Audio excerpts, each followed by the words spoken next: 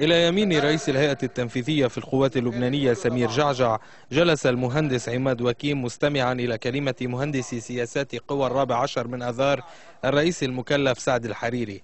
أنصت وكيم جيدا إلى الحريري وصفق له مع مئات المهندسين الذين حضروا الاحتفال الذي أقامه قبل أيام تيار المستقبل على شرفهم. معلنين من هناك معركة سياسية عنوانها السلاح والتدخل الإيراني. نحن معكم. نرفع شعار الاستقرار طريقنا إلى البناء والإعمار. وفوضى السلاح طريقنا إلى الخراب والدمار. معكم يجب أن تبقى صفوف 14 آذار مرصوصة ومتماسكة. ويجب أن لا نخشى هبوب الرياح مهما اشتدت.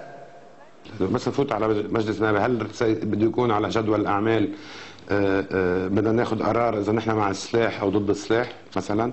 هل رح ناخذ قرار نحن كيف العلاقات مع سوريا؟ رح نفوت نطرح شو؟ قانون آه، مزاولة مهنة الهندسة رح نفوت نطرح التقديمات فينا نعلي معاش التقاعد للمهندس ولا لا؟ فينا نحسن له الاستشفاء ولا لا؟ نظام تسجيل المعاملات مزبوط ولا لا؟ شو لازم نضيف؟ في المقلب الآخر تنافس قوى الثامن من أذار بالمهندس إليب صيبس وتطرحه مرشحا لمنصب النقيب. وبين ناري الرابع عشر والثامن من أذار اضطر المهندس بشارة سماحة إلى العدول عن الترشح.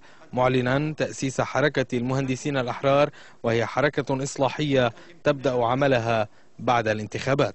هي رسالة وهي عمل رح بيصير بالمستقبل حول إطار خلق حركة شبابية تصحيحية حركة حركة سميناها حركة المهندسين الأحرار من أجل تكون منطلق لجمع الأخوة. وفي عمل نقابي ومهني. وقللين سماحة يقول إن الاصطفاف السياسي لا يستقطب المهندسين مدعما ذلك بالأرقام. 32533 المقترعين للفائز بلال العليلي 6595 المرشح المنافس لبلال للنائب بلال مصطفى فواز نال 500 5435 من أصل 32533 منتسب للجسم النقابي. يعني عمليا عمليا نعم عمليا إنه يلي أدلوا بصوتهم يلي ما أدلوا بصوتهم عفوا هن خارج العملية الانتخابية وخارج الاصطفاف السياسي والمذهبي. مقارنة عدد المقتنعين ما بده يكون بده يكون على لوائح الشطب مش على عدد المنتسبين. لأنه في عدد من الزملاء يمكن 36 37 ألف المنتسبين في 28 ألف تقريبا مسددين. فإذا هوديك حكما يا مش مهتمين بالنقابة يا وضعهم خارج لبنان يا في مشاكل بتركيبة النقابة وبالتالي لا تعني له النقابة ولا كان سدد.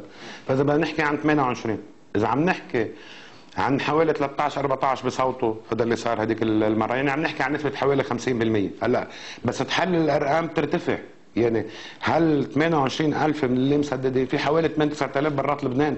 الهندسة السياسية ليست اختصاصا في كليات الهندسة لكن المرشحين للمعركة النقابية يعملون في السياسة أكثر من عملهم في الهندسة. كما يعمل هؤلاء العمال على ترميم نقابة المهندسين من الخارج يجهد في الداخل بعض المهندسين ممن يطلقون على أنفسهم حركة المهندسين الأحرار على ترميم النقابة من التصدعات التي تسبب بها الانقسام السياسي الحاد بين قوى الثامن من أذار وقوى الرابع عشر من الشهر نفسه.